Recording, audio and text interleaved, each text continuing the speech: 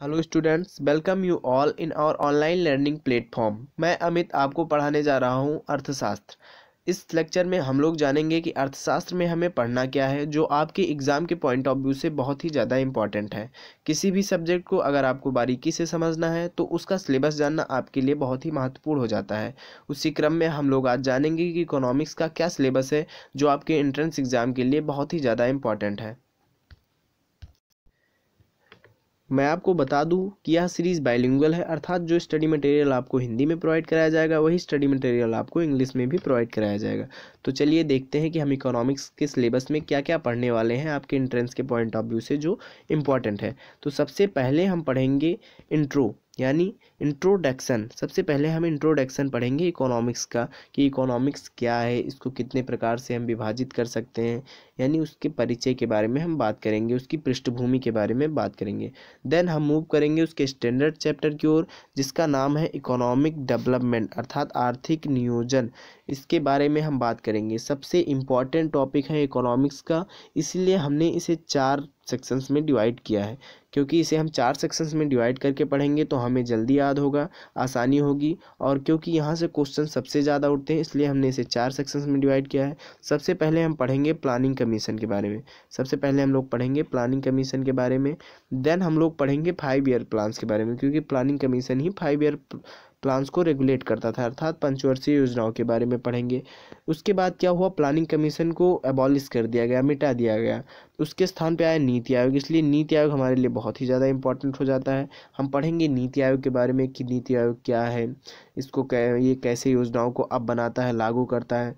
उसके बाद हम पढ़ेंगे मॉडल्स के बारे में।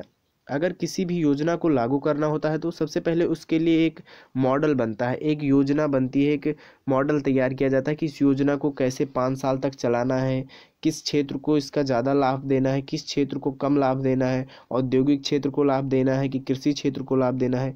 इन्हीं को मॉडल्स कहते थे। तो पहले मॉडल्स बनते थे अभी भी बनते हैं योजनाओं को रेगुलेट करने के लिए। तो जो पहले बुद्धिजीवी लोग थे, जो वहाँ उस क्षेत्र विशेष के लोग थे, जो उस अर्थशास्त्री थे, उनके द्वारा जो मॉडल्स बनाए गए, उनको हम पढ़ेंगे। जिनमें सबसे प्रमुख आ जाते हैं नेहरू नेहरू, महालनोविश, ये आ जाते हैं। उसके बाद गांधी आ जाते हैं, गांधीयन मॉडल इन सब आर्थिक विकास के मॉडलों को हम पढ़ेंगे। उसके बाद हम तीसरे चैप्टर की ओर मूव करेंगे। ये भी बहुत ही इंपॉर्टेंट चैप्टर है और बहुत ही इंटरेस्टिंग चैप्टर है नेशनल इनकम नेशनल इनकम में हम पढ़ेंगे अपने देश की आय के बारे में, अपने देश की राष्ट्रीय आय के बारे में कि सकल घरेलू उत्पाद क्या होता है, सकल राष्ट्रीय उत्पाद क्या होता है, प्रति व्यक्ति आय क्या होता है, इसको कैसे निकालते हैं, इसको निकालने के कौन कौन से तरीके हैं, इन सब का अध्ययन हम नेशनल इनकम में करेंगे, राष्ट्रीय आय में करेंगे। यहाँ से क्वेश्चन पूछे जाते हैं कि राष्ट्रीय आय कैसे निकाली जाती है, कितने प्रकार से निकाली जाते हैं, यहाँ से क्वेश्चन ज़रूर उठते हैं। उसके बाद हम लोग बात करेंगे बजट के बारे में। बजट का इतिहास क्या रहा है? बजट कहाँ पेश किया जाता है? कैसे होता है? बजट के बारे में हम लोग सारी चीज़ें डिस्कस करेंगे। उसके बाद हम लोग डिस्कस करेंगे इंडियन एग्रीकल्चर इंडियन एग्रीकल्चर हम लोग डिस्कस करेंगे, क्योंकि भारतीय कृषि पर ही अर्थव्यवस्था टिकी हुई है, इसलिए यह टॉपिक बहुत ही ज़्यादा इंपॉर्टेंट माना जाता है। दरअसल यह टॉपिक ज्योग्राफी में भी आपको पढ़ाया जाएगा, इसलिए यहाँ पर हम वही चीज़ें पढ़ेंगे इंडियन एग्रीकल्चर में, जो इकोनॉमिक्स के पॉइंट ऑफ़ व्यू से इंपॉर्टेंट है।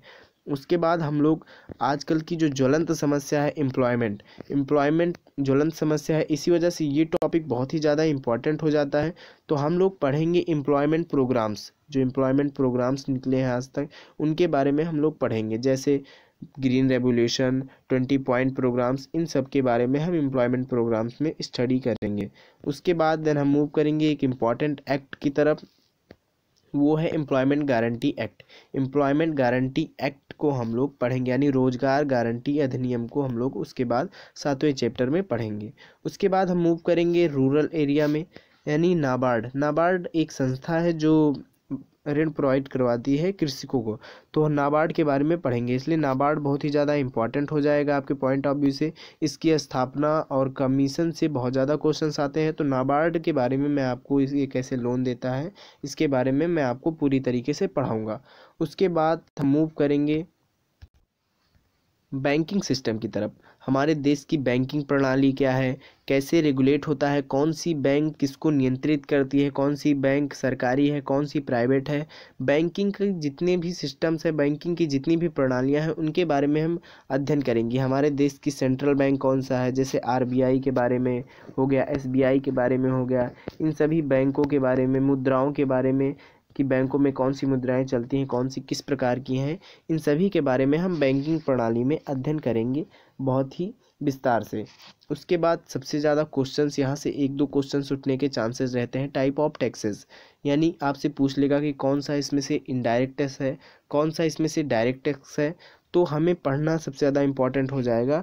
टाइप ऑफ़ टैक्सेस यानी करों के प्रकार। ये पढ़ना हमारे लिए बहुत ही ज़्यादा इंपॉर्टेंट हो जाएगा कि टैक्स कितने प्रकार के होते हैं और कौन कौन से टैक्स किस किस कैटेगरी में आते हैं। उनको कैटेगराइज करना बहुत ही ज़्यादा इंपॉर्टेंट हो जाएगा। जैसे कौन से टैक्स राज्य सरकार लेती है स्टेट गवर्नमेंट लेती है, कौन से टैक्स सेंटर लेती है, अर्थात केंद्र सरकार लेती है, और कौन से डायरेक्ट टैक्सेज हैं, कौन से इनडायरेक्ट टैक्सेज हैं, इनके बारे में पढ़ना बहुत ही ज़्यादा इंपॉर्टेंट हो जाएगा उसके बाद।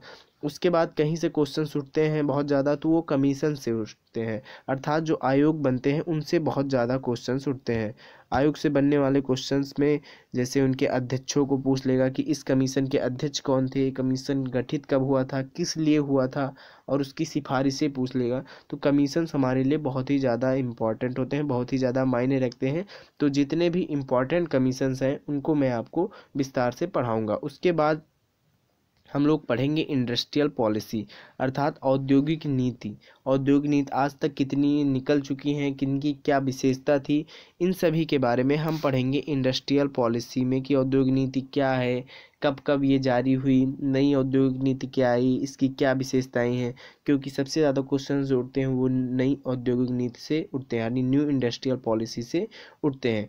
उसके बाद सबसे इंपॉर्टेंट टॉपिक वो है जीएसटी जीएसटी से कहीं ना कहीं एक क्वेश्चन बनने के चांसेस रहते हैं, क्योंकि जीएसटी बहुत ही इंपॉर्टेंट टॉपिक है और यहाँ हम पढ़ेंगे जीएसटी के कितने प्रकार होते हैं जीएसटी किन किन वस्तुओं पे अप्लाई होती है, कितने परसेंट अप्लाई होती है। और जीएसटी का पूरा इतिहास हम लोग पढ़ेंगे कि किस देश में सबसे पहले आई, अपने देश में कितने साल बाद लगी, किस राज्य में पहले जीएसटी अप्लाई हुई, किस राज्य में सबसे बाद में हुई, इन सभी फैक्ट्स को हम जीएसटी में पढ़ेंगे। उसके बाद आ जाएँगे हम लोग लास्ट में विविध पर। विविध में हम लोग उन पॉइंटों एडिशनल पॉइंट्स को पढ़ेंगे। यानी वो पॉइंट्स जो एग्ज़ाम मतलब ठोस पॉइंट्स होते हैं, उनको पढ़ेंगे, जिनसे एग्ज़ाम में क्वेश्चंस पूछे जाते हैं। जैसे जर्नल अवेयरनेस में विविध का पॉइंट होता है, स्टैटिक जीके का पॉइंट होता है, वैसे ही किसी भी सब्जेक्ट में विविध उसी का काम करता है। यानी यहाँ से क्वेश्चन उठने के चांसेस होते हैं। तो विविध में हम लोग बात करेंगे उन एडिशनल पॉइंट्स की जो बहुत ही ज़्यादा एग्ज़ाम के पॉइंट ऑफ़ व्यू से इंपॉर्टेंट है। तो ये इकोनॉमिक्स का सिलेबस है। इसी सिलेबस को हम लोग पढ़ेंगे लेक्चर्स के माध्यम से। ये सारा सिलेबस क्रमबद्ध तरीके से कंप्लीट हो जाने पर आपके लिए कुछ एमसीक्यू क्वेश्चंस आएँगे। जो आपकी तैयारी को एक अलग ले देंगे।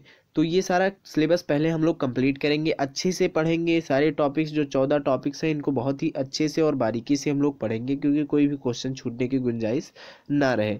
तो अगर आपकी कोई भी क्वेरी है रीजनेबल क्वेरी है तो आप कमेंट बॉक्स में ज़रूर पूछ सकते हैं, और अगर आपके आसपास कोई इस एंट्रेंस की तैयारी कर रहा है तो उसे आप सजेस्ट कर सकते हैं कि हमारा ऑनलाइन लर्निंग प्लेटफॉर्म ज्वाइन करने के लिए। इसे ज़्यादा से ज़्यादा ज्वाइन करें, ताकि ज़्यादा से ज़्यादा लोग इस एंट्रेंस को क्रैक कर सकें।